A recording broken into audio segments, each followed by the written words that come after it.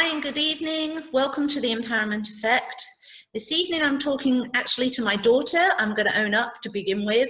Um, and she's not been prepped in any way. If anybody knows me and knows my daughter, they will know that she doesn't do a damn thing I tell her. So, good evening, Georgina. How are you?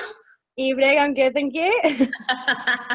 right, George. Um, I asked you to kind of do this because I thought it'd be really good for my viewers because obviously I do EFT. It's something I've started in the last year. Um, and I discussed it with you, and I said that I thought it would be good for you to go and have some sessions, of which you kind of made a face at me to begin with. Do you want to take it from there and tell your story? Yeah. Um, obviously, you kind of pushed this new lifestyle upon me in the last year. And at first, yeah, I was very resistant. I went to a session um, and just didn't really commit myself to it at all. I was just very resistant to accept it. Um, and I think that's kind of natural because it's quite a big change. If you've been brought up thinking that you know these things don't work at all, it's it's a lot to get your head around at start to think that actually all along you did have the power to be happy by yourself you know just doing things by yourself. And it's it's a lot to digest to begin with. Okay so what were you actually resistant to?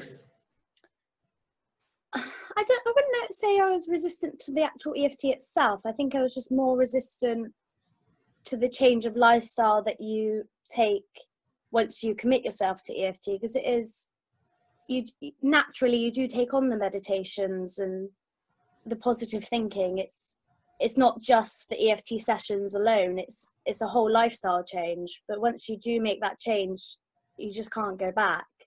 I mean i've i've been so much happier and since i've really committed myself to it i've seen drastic changes in my life all for the better. Okay are you happy to share some of that? Yeah i mean my my pro- product get your words out. Um, my productivity has just got skyrocketed. I take charge of my diet now. I make sure I sleep properly. I do a meditation every day. And it's not necessarily the same meditation. I choose as to what I fancy. Um, I'm finding that I'm unblocking things that I didn't even realize I had, like issues from my past.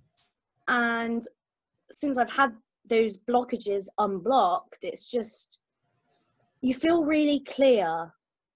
You just everything's a lot clearer. It's just so much easier to be happy, and stresses just don't hit you the same way because you know that you can deal with it yourself. You don't have to keep it all inside. You can just get rid of it then and there, and it's just so much easier.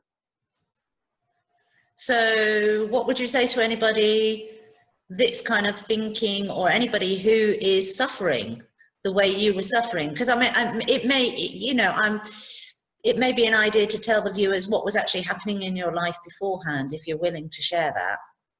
Yeah i mean i was struggling with work i wasn't happy with work. Obviously i'm away from my mother a lot of the time her living across the like oceans. So i really struggled balancing my life between friends family work doing things for myself um, and I don't know. It's just it's all come together. It's very hard to you know explain. It's just it's just all come together and everything's so much easier and I don't have to worry so much or stress or because I know that things will work out just as long as I believe and listen to myself. So that's a so basically you've kind of gained in confidence then. Completely, completely. And I have to say to the viewers, I'm not plugging myself here because Georgina has not been doing EFT with me. no, definitely not. So, is there any other areas where you've gained that you can actually say? Um, self confidence is a major one that I have gained in. Predict, product. can't get my bloody words out now. Predictive. Pro, mm, help me out, mum. Help me out productivity. Yeah definitely. Um confidence.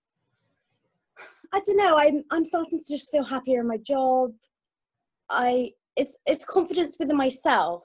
I trust what my heart and my head tell me now, whereas before I'd always second guess myself or just go with the logistical way of doing things where I've, I've learned now that actually you do just have to trust your gut. There's a reason people say trust your gut because when you do amazing things happen. That's brilliant. That's lovely. Is there anything else you want to share especially with the kind of people your age? Because obviously it's quite unique for somebody of your age to to kind of be going down this road so early. Yeah definitely. I would just say don't be afraid of change and just allow yourself to wrap your head around it before you really go for it. Because once you've wrapped your head around it and you make that commitment you can't you can't go back. It's brilliant. And you take it as a commitment do you? Yeah it's it's it's not it's not even it doesn't feel like a commitment that i can't get out of. It's a commitment within myself that i know i'm doing the right thing because i'm happier for it. Right so you've committed to yourself is what you're saying yeah. I'm committed to my own self-happiness now. Oh wow. Okay. Oh that's really really lovely of you to share that. Thanks georgina. All right.